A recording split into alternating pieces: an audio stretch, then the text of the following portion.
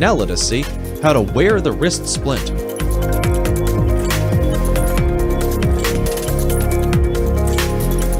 Aluminum splint is pushed out.